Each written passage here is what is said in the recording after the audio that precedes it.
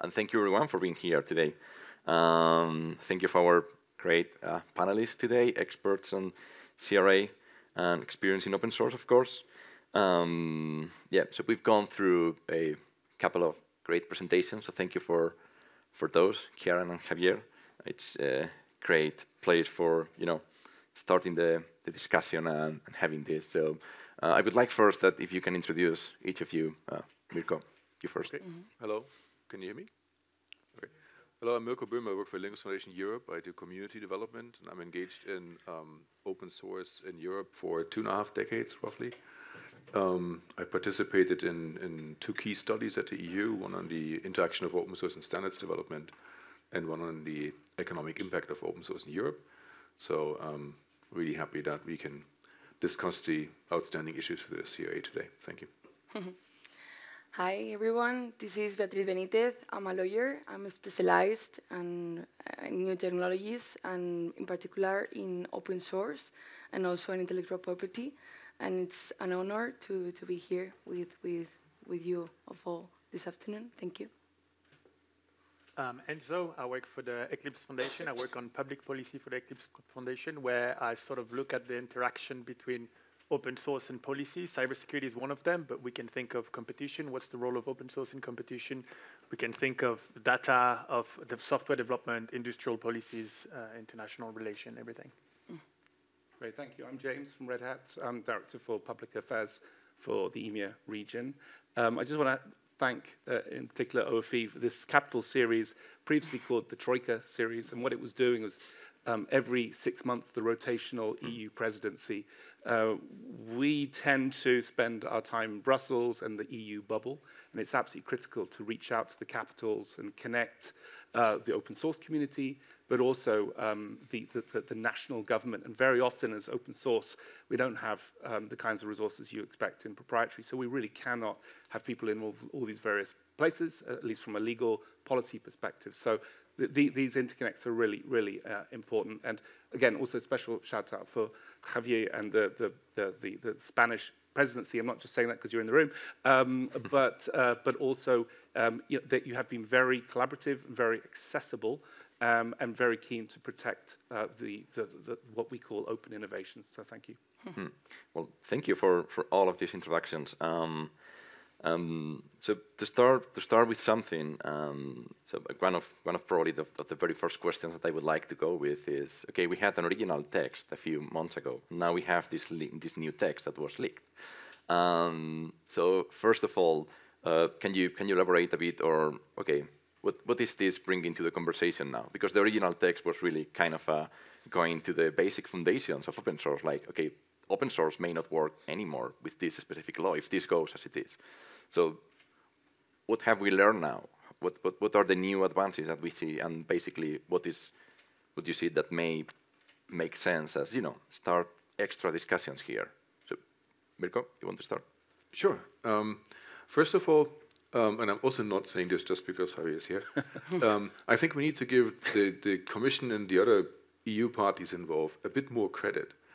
Um, because by having the courage to put the CRA out there with all the flaws it initially had, it did open uh, a floodgate of discussions. And it also created a lot of motivation in our community to participate and say, wait, this is not right. And um, I, I, my guess is that was partially intended. Um, so, um, what I'm trying to say in, in this context is in, in this year that we have been debating on the CRA, we've made a ton of progress.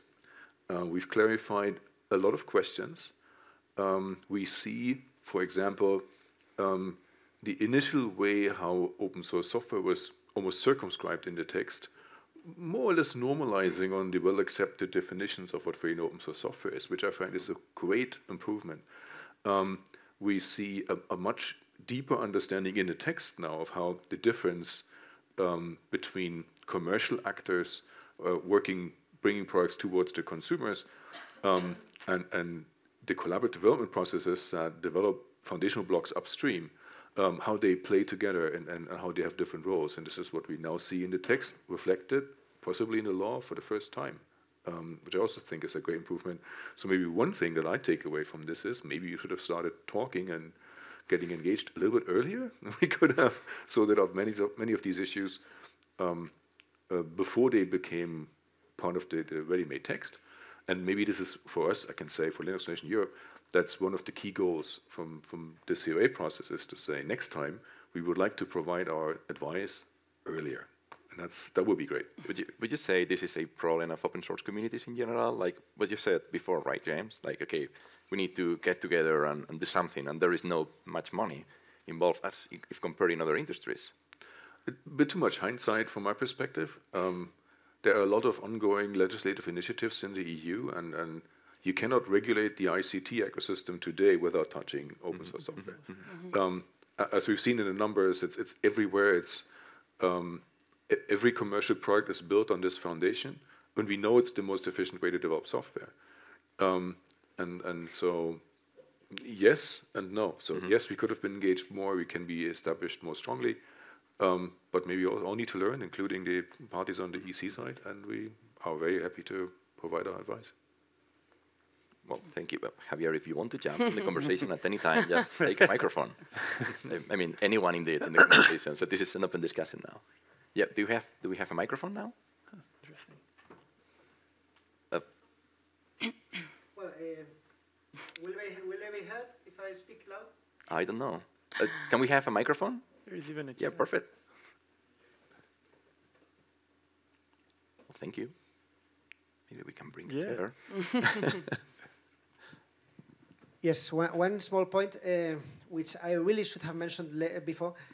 The work is not done when uh, the regulation is published. Uh, the work just starts because uh, then you have the, the guides and you have the policies of the market surveillance authorities. Mm -hmm. And, and upon these guides, and upon the, these can correct many deficiencies.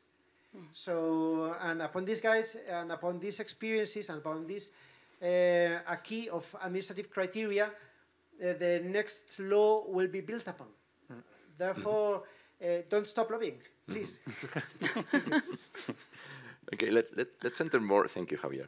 Let, let's enter more, Beatriz, into technicalities, perhaps. So, okay, what, what are the yeah, changes? From, from the legal perspective, yes. yeah, I, I, will say, well, um, I read, we read the, the, the, text and both both amendments, the, the Commission one and the Parliament one. Of course, there's an improvement. I think we can see the open source community there, but uh, there's still a lot of work to do. Uh, that's that's the way it is. Um, we have seen that uh, has been introduced a new role uh, that Kieran, uh, Kieran uh, said before, the steward. Um, okay, but who, who will be the steward? Because we know will be the foundations, but also the public administrations, universities may fall within this, this, this definition. And also, I mean, we, this will be a concern uh, for them, and and is the way is the way we feel. I mean, I feel it with my with my clients. Um, the other the other aspect that I think is important is just to be aware that the open source community is really heterogeneous, and we, we cannot talk about uh, steward or no steward projects because I think it's not it's not the reality. Um, and then just to to go and, and step uh, further, we have the, the concept of the collaborative development. Mm -hmm. That is just you know, complex, just to understand who, who will be um, within this definition, because there's uh, a lot of open source projects that are seeded, for example, uh, through corporate, administrative, uh, academic um, contributors, and are not, uh, there's not uh, collaboration at, at that stage. So yeah, we, we, we need to clarify and, and we need to, to think a little bit more about how we are going to interpret these concepts and how they're going to be applicable to these organizations so they can know and, and assume that they will need to afford uh, and, and they will need to um, yeah, to address uh, some resources that maybe they, they I mean, they, they don't have, they, they haven't uh, thought at, at the moment. So I think it is, it is important, just it's an improvement, of course. But, but I think, as I said, uh, I think we will need to clarify and we will need to analyze a little bit more so there's certainty in, in the text. And that's, that's what can I say with this, with this version. quick question then. Um, so my background is in academia. So what would be the impact for you know European Union is telling you, oh, you need to produce open source because this is open science. Good. So then I'm prototyping things. Da, da, da, uh, so then I serve something as open source, but I am a, you know a professor at university or PhD student or so. But then I decide, okay, this might be good for create a product, and then I go commercial. So what is what, what do you think might be you know, the, the burdens of the difficulties of all of this with the CRA as it is now. Perhaps the definition of software um, collaborative development, the definition of a steward too. Well, as, a, as an individual, if, if you are an, an academic, you, you will need to make available to a market the product. Okay. Mhm. So that's like the commercial the commercial point of view. Uh, from the other point of view, that that's excluded. That's what what we we talked about before. Uh, I think we'll be exempt of the of the obligations if we are not. I mean, because cannot be every time considered as as a collaborative development. If you are just one one research one researcher, of course, makes sense uh, for you to be exempt of, of these obligations, and that's what we want to. I mean, if not, will be will be. I mean, hind the that's the question. Oh, it will hind Oh. the, the innovation. Do we have the microphone? It is, it is related to your comments because in many cases, we in the academia work with companies and the companies Sure. pay us Yeah. for doing that. Mm-hmm. That could be considered that we are marketing our services as producers of software mm-hmm. because we can do very specialized software that mm-hmm. in many cases companies cannot do and that's why they hire us. Mm-hmm. From that point of view, we are economic actors. So the definitions as other is not clear at all. No. We are not covered by the law No. which means I need to do some kind of liability study within my university or something Liability, before getting money from a company.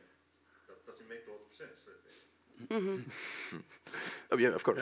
I would like to add something without like totally uh, hogging the discussion, but um, that's something that really I, I still worry a lot in the current text of the series. We're talking a lot about the nature of the actors.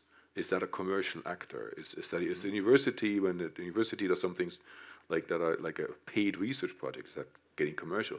My problem with that is that in, in our world of software, the same actor does actions of very different nature um, we, we think it is really laudable if a, if a company hires a kernel maintainer and basically gives them free reign to contribute to Linux kernel. So you have a commercial entity, no question, but the act that the person is doing is charitable in a way. So it's like it, it, it's given away for free, and the company probably gains some reputation out of that or other, other benefits. But um, the same company also brings products into the market. So for me, it's not a question of who the actor is. We cannot cla- uh, like classify the actor as such with all the, the, the actions that they're doing. Uh, The individual actions have a different nature. And that's something that I find very difficult to describe in the text. It's not reflected. Um, but I would really like to, to have the understanding that if somebody contributes code upstream into a collaboratively developed project, it doesn't matter if that person is employed or not. It's a, like a non-profit charitable act. If the same company introduces a product to the market, commercial, all the obligations apply. And that's something that I would really like to see. Maybe we can do this in revision two. Um, so it's the act, not the actor, that count on um, in, in, terms of the obligations from my perspective. Yeah. So sorry for that. Now maybe the others can speak. No, yeah. So um, let me let me go to James, and so sorry about that, uh, because he mentioned well we have developers that so we are hiring developers to work on different open source projects. So what would be the specifically your point of view from from Red Hat perspective, as basically you are doing that, right? Uh, yeah. Um, so Beatriz uh, mentioned heterogeneity, um, and also uh, Thomas asked about um, so the global commons and the kinds of requirements that need to be adhered to. Uh, because Thomas said that I looked like uh, a Spaniard, it's the nicest thing anyone said to me for a long time. I'm, I'm going to give him a shout out. But your, your question is, is really about where Red Hat is in the top left hand corner of, of this diagram. Um, and you know, we've had a product security team for over 20 years. Um, so we have these hardened processes to, to ensure um, the highest grade of cybersecurity in the open source world. We do backporting. We, we're, we're a, a long established steward, maintainer in multiple, multiple projects. Um, but also, what I think is interesting is uh, Mirko from Linux. Uh, there was a, a, couple of studies that came out, and one which I sorry I just had to quickly Google to see what, what was happening. Um, it says that uh, of the survey, 75% um, of those surveyed who are contributing upstream are not from the IT world. Mm-hmm. So the point about heterogeneity, and I think that comes back to your question about how Red Hat sees this, is that you know we kind of federate that risk uh, with our customers. So we're in 100% of the banks, telcos, airlines, mm-hmm. all member states. We want to build hardened, secure infrastructure. Um, and we do that together. So a rising tide raises all boats. And those kinds of requirements are, are, are in, this, in the CRA. And I think one of the the, the, concerns we would have is the possible duplicative nature of the CRA, where uh, we are doing the common criteria at the highest possible level, and then we have to do a CE mark. But I must say, in all the annex parts of the, the regulation and where it pertains to in-scope open source, I think there's been huge improvements.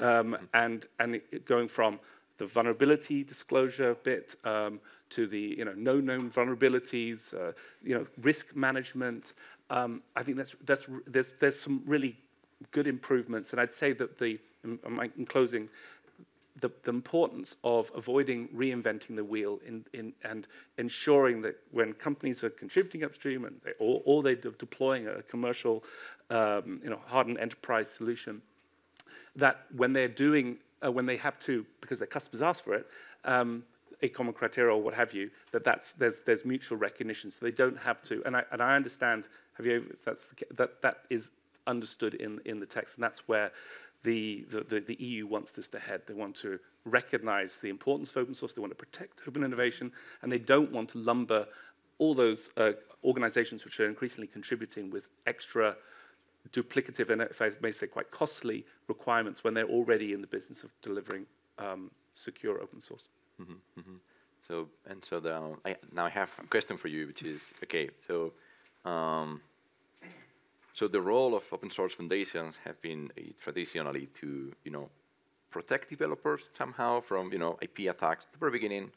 Um, now it's kind of an umbrella to perhaps have innovation, move forward, have a, you know, homogeneous way of working, um, neutral place for corporations to, to play with software to produce things, right? Uh, so now, what, what, where do you see the role of foundations, and specifically the Eclipse Foundation, where you work at?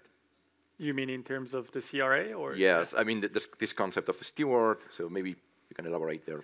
Yeah, so it's it, it's complicated because the the text is it's a leak, right? Yes. So as you was said, I can only comment on the leak since the information maybe is, is confidential. But do you mind do you mind yeah. doing a really brief introduction to the leak document because we've yeah, been sure. mentioning this, but maybe the rest of the audience. Yeah, sure. Mm-hmm. Thank you. I mean, uh, your your first question on this was uh, was was the very good one in the sense that uh, the two versions of the text, so the original version uh, and, and the last version have something in common. They're both very complicated. And if you thought that the presentation made by Kieran and Javier was complex, it was one of the clearest, both of them mm. very clear, explaining exactly what it is. And the other presentation I've heard on this are far more complex that I've heard that, that, that what I've heard today. Mm -hmm. The, the problem of the first one, the one of the commission, is that it was not looking at open source so much. They were trying to regulate something, open source was in the way, they solved the problem, that's it. What the other one, so the new one, the leak, the one that no one has seen apparently, uh, uh, is doing is actually looking at what is existing in open source. Mm -hmm. In open source, you have different roles, you have different uh, people doing different things. You mentioned uh, foundations. What you've described is pretty much what foundations are doing. And what's good about that, this, this new text is that there is an understanding that open source foundations are not distributors, they're not manufacturers, we don't hire developers in order to develop open source software. We're here to help companies gathering or individual gathering together in order to develop something. And that's extremely different from just distributing or manufacturing because there are things that you cannot do. If we have to develop patches as a foundation, we cannot do that. That's not our role. That's not our, the community has to do it. It would be weird for a foundation to just step in and say, no, no, we have to modify the software that way. That's way better in order to regulate or in order to uh, comply with regulations. That's not our role. We don't want to step into this so much. We want to help mm. into improving security through processes, and that's what the, the obligations of this new leak that no one has seen again um, is about building processes. So Steward would have those obligations.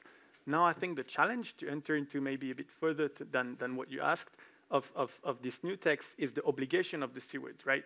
Uh, I, I, see them as, as, as being two things. Uh, on one hand, you have to develop a process. On the other hand, you have to report.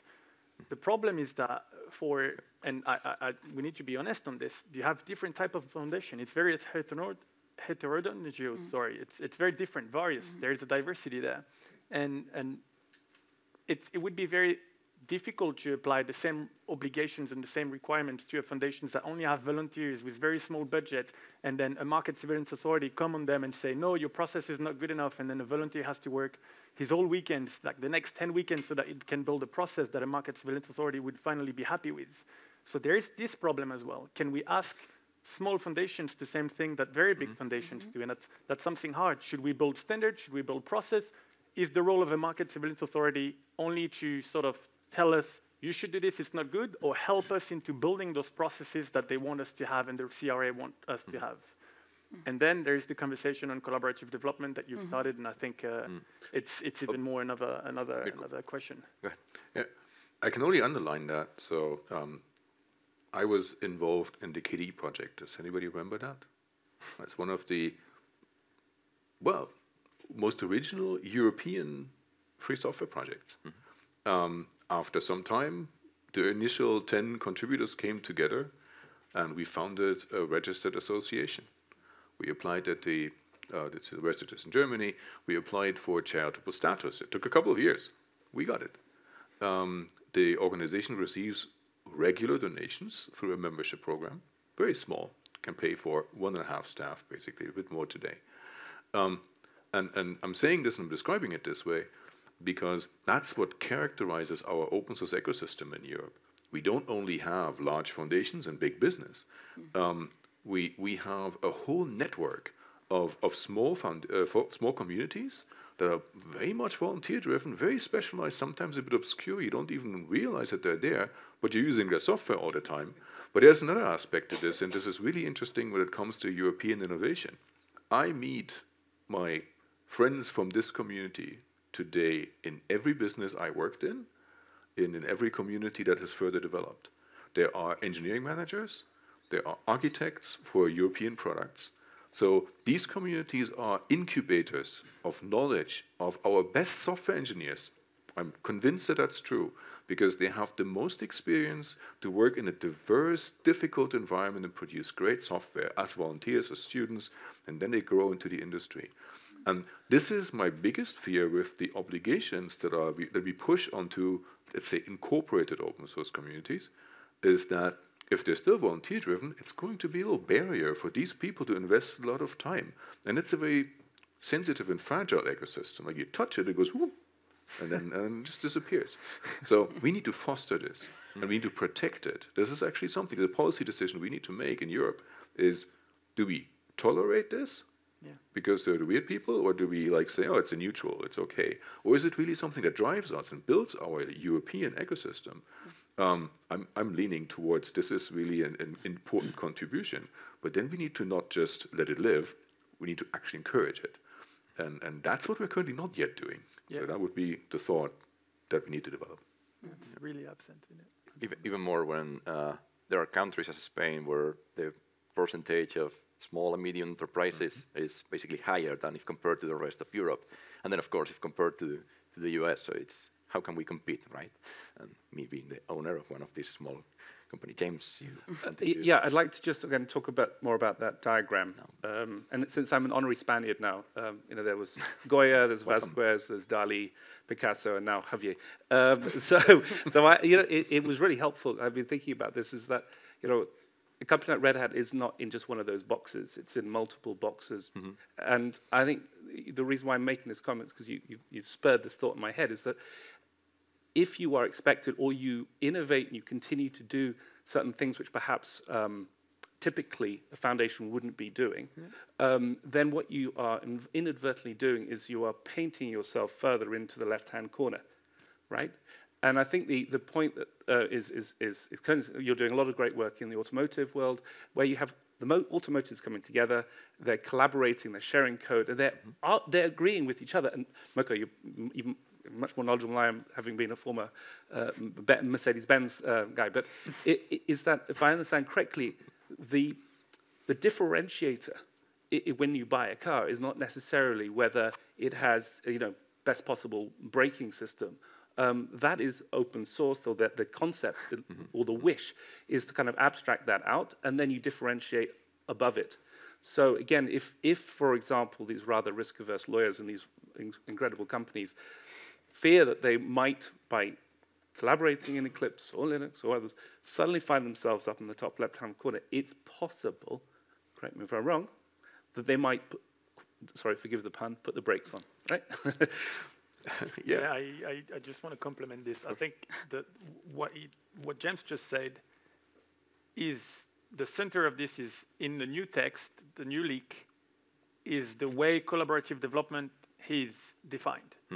Uh, the way collaborative development is defined, the first two sentences that no one has seen is okay, and then the last sentence says when there is one entity exercising control, then it's not collaborative development. Mm-hmm. The problem is that exercising control when it comes to open source is a bit of a strange element, right? What does it mean? Is a committer the one exercising control? Is no one exercising control because of the transparency, vendor neutrality, and meritocratic principle that we apply to all our projects in Eclipse? Mm-hmm. No one is doing it. If there is two committers and then one disappeared, then it becomes a single vendor project, despite the, all the things. So, w- what the, what's what is exercising control of one single entity? Can we be under the governance of a steward mm-hmm. and have one entity exercising control? I don't believe that's the case. I've heard people and colleagues saying the complete opposite. The text at the moment with this specific aspect is not clear, mm-hmm. and that would mm-hmm. lead to what James just said. We go to Linux Foundation, to Eclipse Foundation, to Apache Foundation. We think we're doing collaborative development, but because all of a sudden exercising control is a weird one, then the Market Surveillance Authority of Sweden is telling me, no, now you're a single vendor. And that's not okay, because that is killing the sole idea of having stewards, despite the fact that the text was trying to define steward to help the open source community, and that could be counterproductive. Mirko, and then we had a question. So, So two comments on this. Um, so one, um, I see this as a homework for the open source community as well. Yes, true. so the um, commission, let's say that that concept of the open source steward goes in and, and creates two separate operators, commercial businesses and people, entities that care about open source projects. Then it's up to us to actually say we adapt our governance, our the way we run the projects, the transparency we apply, so that it perfectly fits the steward uh, definition. It's a give and take on this. So uh, it is actually something I have told our communities a lot is for now we can try to influence the text, but once the text is there, we need to start learning to live in the new environment. And not all of that is just necessarily bad. A lot of it is also impetus for innovation. For example, the question of what does open governance mean um, is, is one of these un, like blurry areas for us. It's kind of a bit embarrassing that we in 2023 are not able to say in one sentence what open governance means. And what the Commission currently does is it forces us to come to terms. It circumscribes it and says, no, you prove it. Was the one comment. The other comment is um, software development today is bidirectional. It is like take components, integrate them further under the con- consumer uses them, and at the same time, um, to make sure these components exist, employ developers and contribute there in that direction. And this change in direction, um, until now in our perception, is a firewall for, for liability, for responsibility, etc. Why? Because the communities that release the software, they don't have a relationship with their users. The users decide to use the software. It's their sole authority. They don't pay for it, and they decide it's a one-sided action. And, and that's why we say, if I make, a mistake, and that's where the car maker example comes in, like I make a mistake and, and I introduce a bug, and somebody else uses that software, and now the brakes don't work.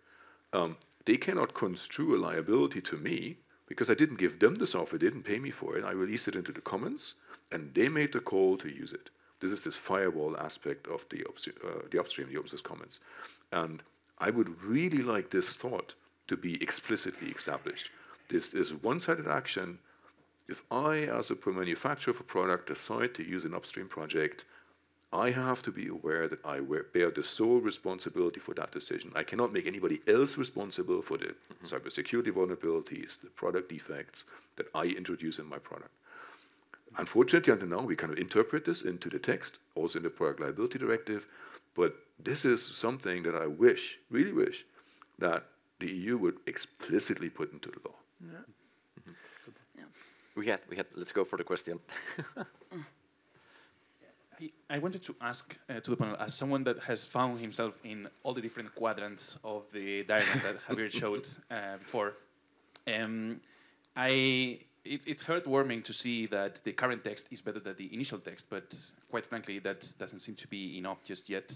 And I'm thinking specifically about the right-hand side of the quadrant, so the anarchist, uh, zero governance uh, kind of uh, projects. Mm -hmm. And the CRA seems to place a bad incentive for these projects to stop their maturity process in a sense, because some of the problems that open source communities have had are precisely like lack of governance, lack of diversity, and lack of resources, lack of direction, etc.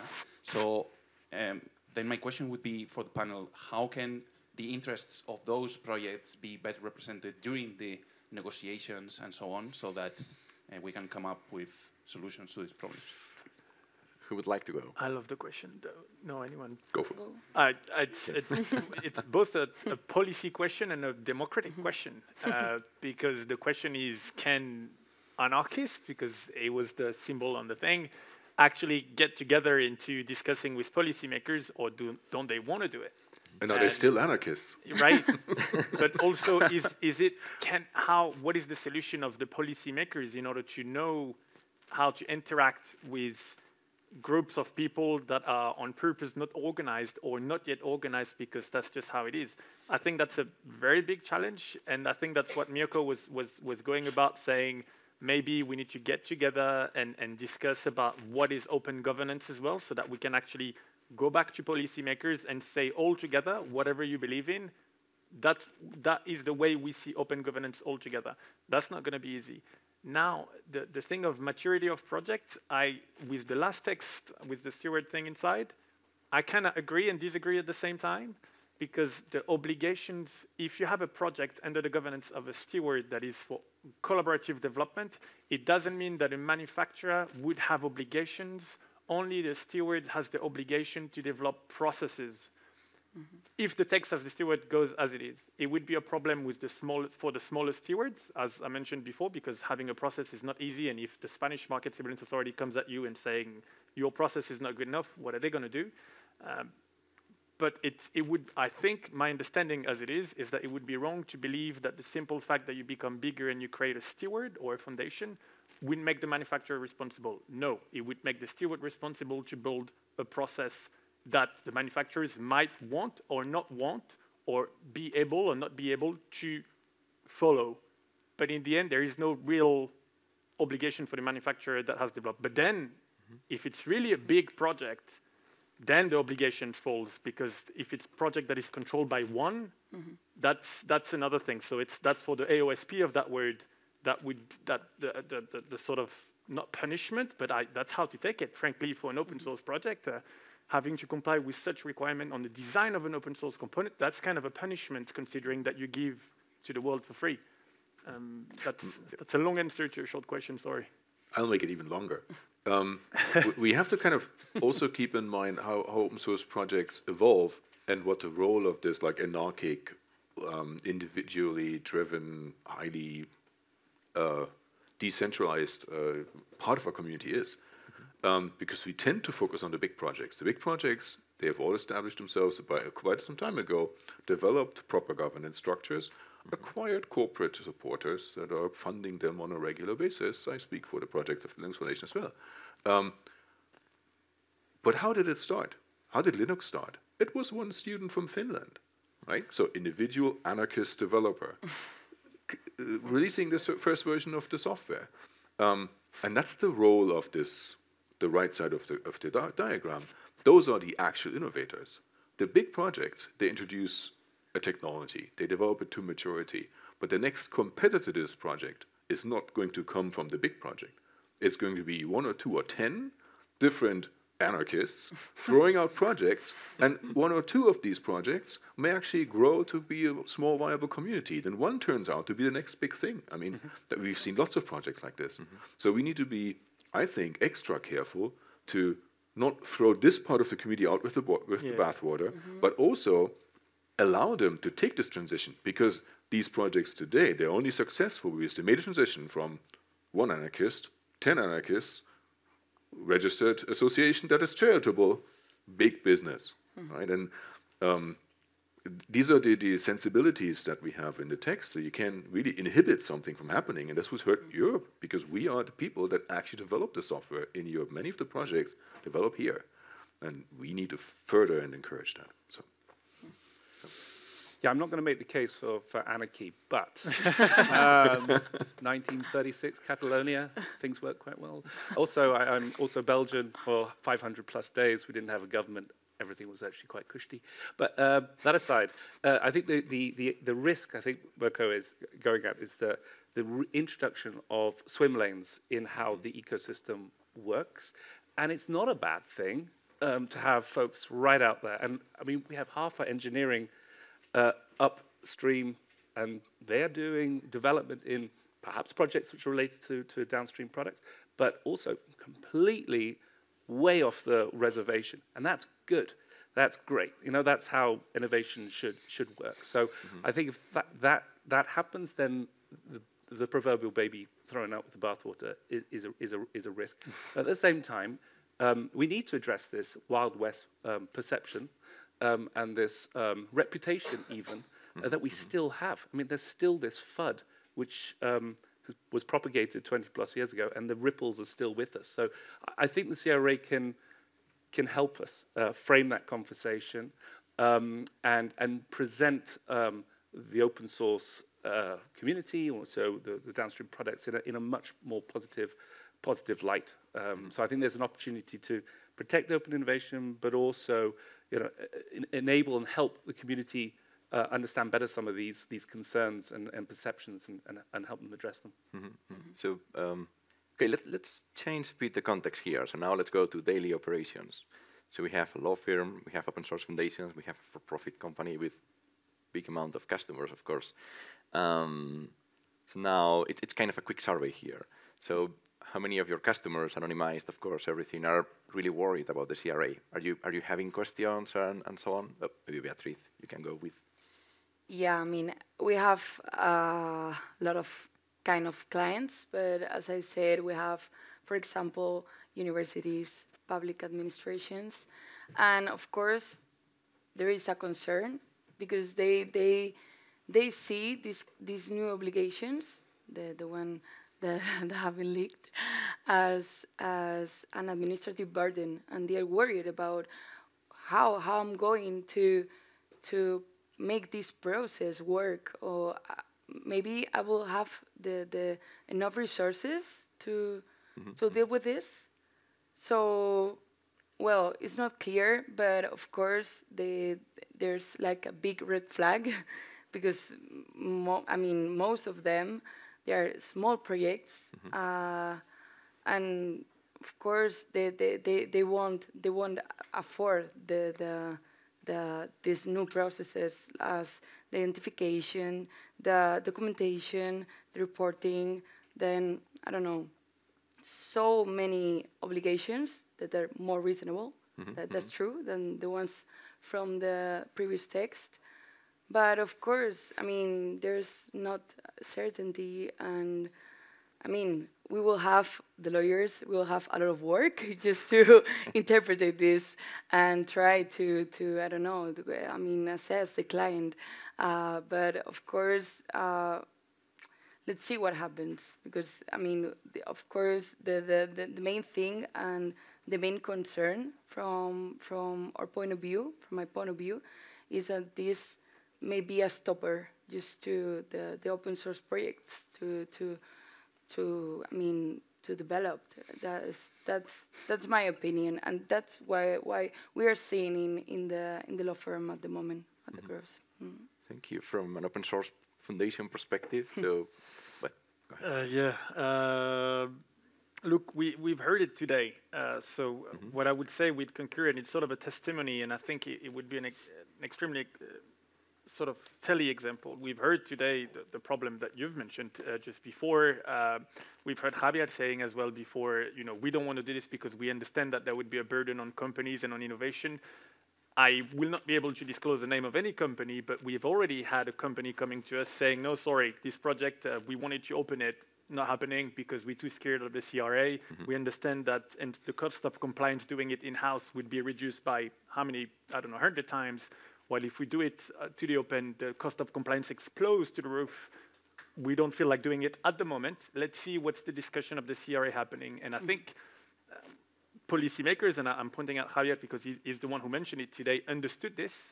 Um, but that's a that's a critical reality. Imagine mm -hmm. if we're talking about some of the biggest European companies. We, we are a European uh, foundation, right? So we headquartered in Europe. Most of our uh, um, um, members are European. I think 75% of our members or 70% of our members are European. We're talking about a very big European company that is like, we want to open something so that the whole European ecosystem can benefit from it. And they say, no, we don't want to do it anymore. And that's, that's, uh, that's not a small thing. That's, mm -hmm. And no one can blame them for this. You know, can they can they actually carry the cost that is multiplied by 100? Uh, they don't think that they could do it, and I understand them. Mm -hmm. Mirko. Yeah, um, we actually did a panel at the Open Source Summit Europe in Bilbao a month ago, where we invited, uh, uh, we tried to really get like the full spectrum: the Linux kernel community, Python Software Foundation, GitHub, Red Hat, and Ericsson. So we tried to get also like a European device maker business on board. Um, we recorded that, we published it, and we wrote a blog post about that that was published two days ago. so if you're asking what are the impressions of a wide range of stakeholders, I can only recommend you go and read that um, because it gives you kind of the in the field impression. Like now that we read this, now that we analyzed this, why are we scared? But there are two things, two takeaways from that uh, from that panel that I would like to highlight.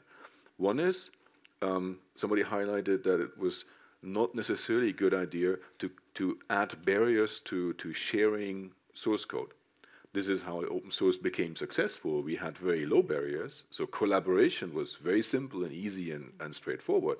And now we're adding barriers to that sharing, which is really the, the lowest level um, of the fabric of open source. So barriers to sharing code we should really be careful with that. And that's why it needs to be clear that the individual committer is not responsible, etc.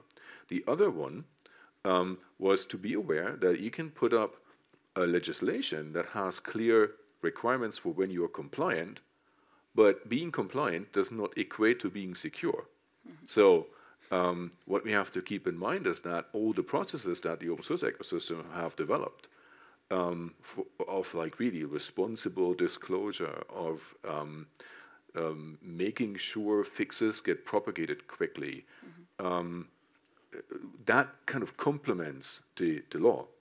And so when, when the standards are being developed, once this, the text is done, we need to make sure that all the processes that we have are merged into what becomes the standard, the, the accepted process, and that we can even improve it on that. Um, so yeah, so these were two impressions no barriers to sharing code, and um, make sure that the process is actually working on not just following the law, but actually focusing on compliance. So. Uh, last and certainly least of all, um, I, I, guess in sort of the, the lobbying fraternity of, of, many of our customers, and we have mm -hmm. thousands of, of customers, yeah. um, I think the, the awareness of how important open source is to them from a sort of legal policy perspective is pretty small. Um, and uh, it's only when they bump into, almost serendipitously, their engineer um, in the corridor, in, back at headquarters or, or, what have you, there is this, what is going on? they then realize that not only are they using open source, um, they're also increasingly contributing to open source. So I, I think we, we've, we've seen a kind of shift, a shift, shift, that's a pivot and a shift altogether, um, towards that uh, awareness. I think the other thing is to, to your question, uh, we also have millions of people around our, our products. It's an extraordinary mm-hmm. ecosystem. So, you know, we're already sort of fielding questions uh, from, um, from that community, individuals, and so what we will have to do as soon as it's it's, it's, it's done and dusted, is look at it very um, carefully and produce some kind of FAQ um, as to what this actually uh, means. Um, because I think we are sort of, yeah, we have a, we have, we have a, uh, a role to play uh, as being uh, still the, the, world's leading open source solution provider. So that's something which is incumbent. But again, the resources are quite finite. Um, uh, compared with uh, perhaps others. And I think maybe a mm. final final point, if I may, the resources point. I think there's never been a stronger case to to collaborate. All those companies out there, uh, the automotives, the banks, and so on.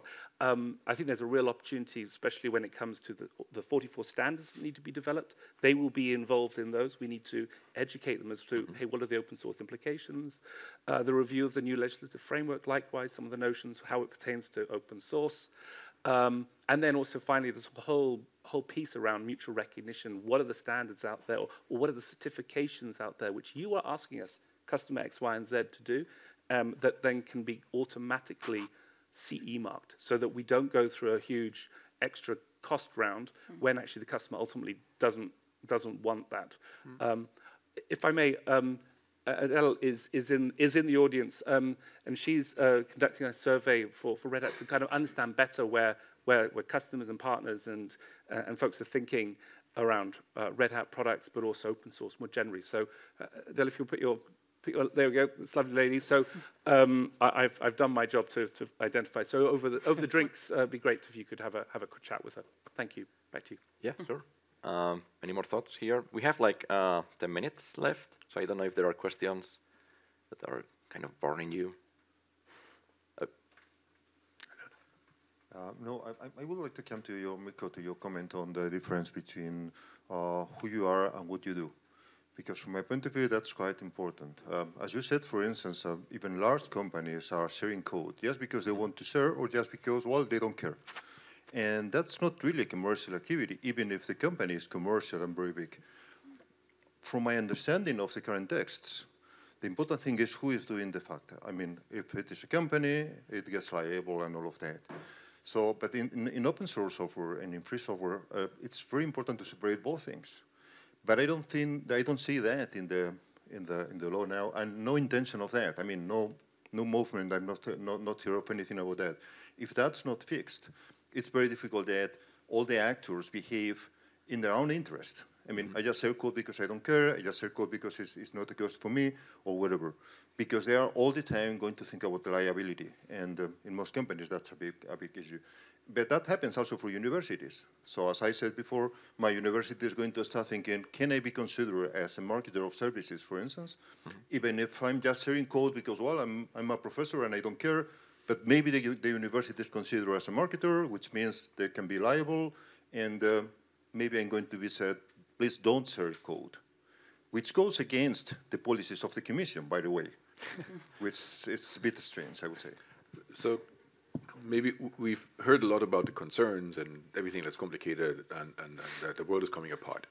on, on this one, I think there's actually a relatively simple fix, and that is to clarify that somebody who like basically submits a pull request to a project is not responsible under the CRA.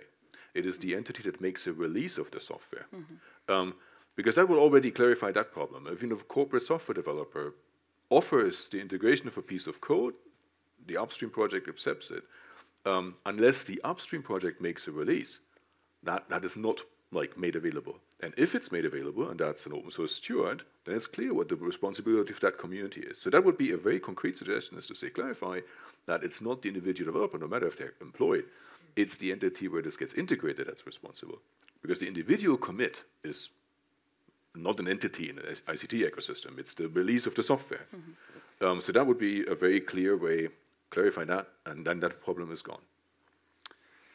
Mm -hmm. Yeah, there is another thing that was uh, in a in a text that we've seen or not seen um, is uh, something that would drastically improve the cybersecurity of open source, uh, but not in a negative sense, in a sense that it doesn't bring obligations on on the least capable actor or the least financial means available actor. Is uh, one element that says if you're using an open source component and you improve its cybersecurity through a patch or whatever, that you have to report back that cybersecurity innovation back to the maintainer. I think I've not heard anyone in the open source community ever say that this was a bad uh, element in the CRA. It is not. We have not seen it in the text of the steward thing uh, or the collab development uh, thing. But this is definitely a, a positive uh, element for the open source community that would help drastically to improve cybersecurity, and it doesn't feel like a regulation or a burden on on, on the organization that have the less uh, financial means available. This is also another instance of where we see huge progress in, in the understanding. There was a clause added that it needs the, the patch needs to be made available in a way that it can actually be integrated upstream, license-wise. The license need to fit. Yeah. And uh, yes, that's maybe we should also highlight the good things in this CRA, and that's definitely one of the potential real improvements. Would you say this is a okay? Let, let's play evil advocate here. Uh, can we say CRA is, a, is an opportunity for open source? What if we play that role? So certainly one of the litmus tests of whether it's a success or not is whether it bolsters upstream uh, contribution. Let's see. Um, I mean, all the, all, the, all the indicators, whether it's the sort of the GitHub Innovator Guide or the Linux Researcher, etc., it's all doing this. Uh, as you'll find out in the next panel, um, there's some really exciting growth in terms of open source. So if there's a little sort of dip, maybe that's acceptable. Uh, if there's something else that comes afterwards, and then there's the next next wave of, of open innovation. Um, uh, If not, then it's then then I think we'll see like we've done with NIS. You know, NIS one, well they had to come back. NIS 2 we'll we'll look, be looking at CRA two. If I may. Um, Ad- Ad- Ad- Adele's not called Adele, it's Alona, isn't it? Sorry, my bad. And Javier, I think you wanted to come in. You put your hand up. Is that right? Yes. Yeah. Well, uh, uh, not to hog the conversation, but just to make a couple of points. The camera. Thank you. Thank you. just, uh, just to make a couple of points. First, uh, you spoke uh, very eloquently about uh, small organizations and SMEs. Uh, our heart is close to them, and uh, they will get uh, the, the, surely a special mention, uh, I think, in the in the final text, uh, uh, an exemption, which uh, is already there, for example, in NIS. It's, uh, it only makes sense. Another, point, another point, a larger point, is uh, for definitions. Uh, the, um, uh, this is uh, something that comes up once and again. If I had a, a euro for every time uh, I've, got, I've got a complaint that oh, in, the, in this law the definition is not good, I'd have, like, I'd have like 20 euros or so, which is already a lot. Good lunch. no, but really, um, that's the problem with laws. The, the map is not the territory. The map has much less detail than the territory. The, terri- the, the reality is very granular, and particularly in open source, every specific organization has a specific little model where no, uh, the founder gives them money and he only monetizes sometimes, and and uh, we need a quadrant, new quadrant for a specific company. And uh, yes, uh, it's like that. Uh, the, the definitions are often fuzzy, and they have to encompass. Very, uh, and uh, this has been the case too. For example, in NIS, in the NIS directive with uh, cloud service providers, which when NIS one came out, uh, we had a very specific idea of what they would be, and in the end, uh, everyone under ONT is an- a cloud service provider, and uh, we had to get around redefining the terms within the definition, and uh, I'm sure this will be the case too, but. Um, and uh, that's what the guides are there for, for example, in the new legislative framework. And uh, that's what the administrative criteria of the market surveillance uh, authorities are there for. And that's why market surveillance authorities sit together and say, let's have um, common criteria for these things. And um, uh, so, um, but there's a trade-off there. If uh, we make the definition too alembicated, too Byzantine, too long, uh, uh, there are, and the compliance costs rise. So we cannot uh, make the definition too long either. So uh, there, uh, there's no easy solution there. Thank you. Yep. oh, take it. So there were there were question there. If I may ask one more question to uh, Beatriz in this case. Um, this is a strictly legal uh, question. There are many open source and free software licenses that end with the software is provided as is without warranty of any kind. How does that interact with the whole CRA and uh, all the obligations and so on? Sure. Um, well, here uh, we, we have seen there's other obligations that the, the steward the steward will need to to, to comply with. Um, there's not the the requirement of the of the CE uh, certification of the risk analysis, whatever. Now we have uh, other kind of, of obligations. Uh, yeah, of course, uh, this will. I mean, th this is a problem because who is going who is going to be responsible if if I mean if there's any claim of, of if we have like any problem with the use with the use of the of the software. I mean nowadays with the with this text, this I mean there's not a solution at all. Um, I cannot say what we're going to do. I don't really know what is going to happen. Uh, as far as I know, we, we are going to deal with, with the non-liability or the limitation of liability that the open source licenses uh, have nowadays. But for example, there's uh, another another example that we impact with the with the copyleft uh, licenses, with the no surrender uh, with the no surrender freedoms. Uh, you you can say that, for example, uh, it says, I'm, I'm doing it by memory, but it says that if you cannot comply with the terms of the obligation or any other obligations, that this will be the, the obligations imposed by the CRA, you cannot convey the, the, the product under that license. So you can you cannot, I mean, transfer the license under the GPL, for example, if you are not complying with the, with that obligations. So that's other concern that what we are going to do with this. I mean, that's really important. That's huge for the for, for I mean for the projects from the licensing perspective. I think that's the the most the most important. Of course, the the as is the limitation of liability. That's that's huge also. Yeah, but. So we'll have to Yeah. change our licenses, basically. We'll have to change the whole thing. I hope not. Think so? no way, you know. no, that that's why I think there's there's a need to work a little bit on this because I mean there's an impact, there's a legal impact, and of course, Mirko, you will know better. But I mean, I think it's necessary just to to make uh, a transactional cost uh, and statutory cost of these obligations, just to I mean, to ensure that, that these kind of organizations that we are talking about can deal with this. That's, I mean, I think, I think, I think it's important just to, I mean, to ensure that won't be that impact, that legal impact, uh, in a short term. I mean, So the the clauses that you describe are particular to the GPL version 3, um, but essentially that means that the body of software that is out there under this license may become undistributable. And that's, that's certainly not the intended effect. I'm relatively sure that, that nobody wanted that. But um, that, if that's the case, then we need to make sure that this doesn't happen.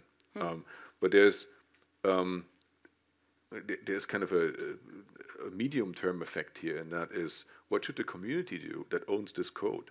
How, basically, what we just said is they may not make this code available in Europe if they can't comply with the CRA and the licenses. You cannot comply with the CRA because you're taking freedoms from the user away. So, what will happen is that either by license or by choice, they will say, well, but then we don't make it available in Europe because we're an open source community. We don't make money anyway. And that's um, sometimes this has been described as like a doomsday scenario. But I, I'm looking at this from my hat of I have run a community before as an elected representative. And if you have zero money, you have money to pay half a community manager, um, and all of a sudden you have such obligations and you cannot comply with the license, then you will look for a straw that you can pull and say, okay, we'll go this way. And, and this is another unintended side effect. And I think we would be very like ill-advised as European citizens to, to, to let that happen. So that's definitely something we need to prevent from happening. And yeah, and it would not even increase the level of cybersecurity because Yeah. Yeah. they, let's just say they don't make it available uh, in Europe, and then a developer figured out a way to get access to it. I don't know, a random idea like a VPN, for instance. Wow. And then they have access to it, they implement it, and then the only thing they have to do is now to make sure that this component complies with the CRA. Like Javier said before, if you buy a, com- a Chinese component with this weird CE marking on it, which is not the actual CE marking, the only thing you have to do is to make sure that the component is now compliant with the um, uh, safety regulation. So in the end, no cybersecurity added, and all the burden is in Europe and nowhere else. No, nothing happened. Does, does this mean that basically we uh, no developers will exist, open source developers will exist in Europe anymore? Let's not end on that kind of note. Okay. yeah, I think we're going overboard. Yeah. I think so. Look, look, this is a regulation about horizontal resilience. It's not an IP regulation, so hmm. I, I don't see that as a as a as a as a you know a secondary effect, and that would be mm-hmm. Mm-hmm. ridiculous. Yeah. Hmm. As it stays. Okay, now probably last question for today because now it's been a full hour almost. Hmm. Um, now that I hear, you know, I, I own this small company called Bitergia, so we have the following situation. Let me know what, what I should do. um, so, okay, we started in academia. Jesus there and Gregorio were my PhD advisors. So then we decided, okay, we produce this open source technology to analyze open source projects, da, da, da, perfect. Then we started to have some companies, you know, expressing interest, like, well, I would like to do this development or this thing, so then this is helping me. So then I'm paying you money. It's not exactly research, but it's research, but it's kind of in between, right? Um, so then after this, we say, okay, now we found the company. Good, perfect. So then we take, basically, as everything was open source, GPL version 3, we say, okay, we move into, uh, into the uh, testing the market. This is where we were basically at the very beginning. And then you, Javier mentioned, well, uh, small companies will have a certain exemption here, chapter or section or so, claiming this. Um, so it took us several years to test the market. Now we have certain business running. Um, and now, in the last three, four years, our technology was forked by the Linux Foundation on the one hand, and then they are providing uh, like a SaaS service. I don't know if there's still code on from ours. Um, and then there is a Chinese company, Huawei, that forked the project, and then they started the project called OSS Compass. So where are we in all of this, basically? Because we have we have our project that we have certain collaborators. We are a, part of CHAOSS Community, which is a Linux Foundation project. Um, then we have Linux Foundation that forked the same their, their own project, and then we have this Chinese company doing this. How do we proceed here? I don't know. I don't even know how to start. Yeah, uh, so I think it's a, que- it's a, it's a question for perhaps. Lisa, Yes. But I, I would say. Any thoughts? so I, I think when, when one particular company a long time ago um, decided to fork uh, Red Hat Enterprise Linux, um, we came out with unfakeable Linux. They came out with unbreakable Linux. We just doubled down on on contributing upstream. We, that was the sort of the um, the, the, the the strategic move. Uh, but that's from a, a, a place of some some momentum um, and and resource. Uh, you are in a different different environment. Yes. Uh, so I, yeah, I, I'm, I'm I'm interested in what the answer is. Actually, it's a good question. Any thoughts? I was thinking how the CRA changes the picture in this case. Um, I think w- th- this is maybe a good example for how complicated the structures in open source can be. Um, because you have contributors, often you have like a foundational piece of software that the business then builds upon, makes commercial versions of it, or provides services, operates it as a service. Um, and we need to really understand what are the roles. Um, you're running a business and it provides a commercial software. It's open source license, but you're as a business you're commercial. So, um, and and that means you are fully responsible under the CRA. Yep. Um, the, the Linux Foundation is probably a steward hope in, in, in this structure. We're not selling it. Um, so maybe one, one conclusion here is the CRA will force us to make the roles of the individual actors who are developing, contributing, operating much more explicit. Um, and we have the situation a lot in open source. We have single vendor companies, many of them with the best intentions, many some of them with murky intentions. But um, I'm, I'm developing my software. I sell commercial licenses to it, but I make an identical version available under an open source license so that the community can use it. Mm-hmm. usually, of course, market penetration, it's reputation, but it's also just a good thing to do. Mm-hmm. Still, we're treating as, them as commercial actors, and the CRA will make this explicit. So this idea of the single vendor model, well, we have to rethink it. How, how do you do that in the future? Do you separate those two, make make one into an openly, collaboratively developed foundation, um, and and build a commercial model on top?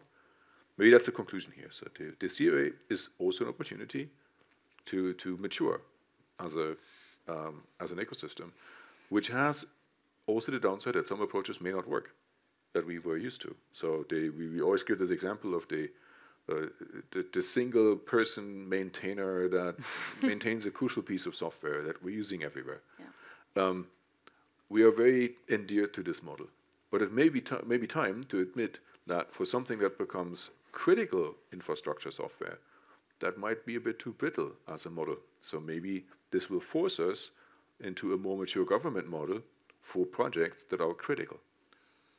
And that's an opportunity um, without throwing the baby out with the bathwater and preventing small projects from emerging, which is a tight balance. So, Yeah. Yeah, my, my first thought there was okay, we are okay. Of course, Huawei is not going to enter into the market; it's, it's too small. But it's like what you said, Javier, right? So the cybersecurity is is here, so it's already here. The point is probably at the very beginning until we really understand how this works. Uh, we are we might be or other companies in a similar situation in kind of disa- disadvantage competitive disadvantage, so we need to learn how to deal with that. The help of open source foundations would be fundamental. The help of the European Union, of course, would be uh, fundamental as well to make to make this happen. But uh, it's it's like a, a labyrinth, right? So it's so far trying to, to make the puzzle and so on. So any more thoughts here, or I think if not, we are close to close. Okay. Any any more questions from the audience? Thoughts. Hope hope this was uh, great for everyone. Good discussion. Thank you, our panelists. Thank you for your time, and well, thank you all. Thank you.